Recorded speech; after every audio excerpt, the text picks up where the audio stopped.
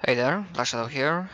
Uh, welcome to another one of the, these videos that are acting as a starting point explanation for packed up playlists uh, due to my changes and reconstruction of the channel. Sorry for the pretentious, in my opinion, thumbnail. Just didn't had any like better idea showing, which partially shows what this playlist will be all about. This is like basically you can call like other games corner playlist or something like that. I'm not yet sure at the time of the recording what name I'm gonna give it, but this essentially will act as a playlist for all the games that are not part of the big franchise, not indie, not retro, not old school, like kind of games like World in Conflict with its expansion uh, that don't have any other place on any other like large playlists uh, and perhaps it will find its place here. Sorry, for a moment I kind of like, yeah, my mind turned off.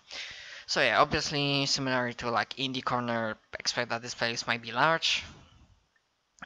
And I'll try, really try to make sure that, yeah, only games that are not part of big, big franchises that can give me like like large playlists. So you so if you don't have like if they don't provide a lot of watching material they will be uh, happening uh, landing here.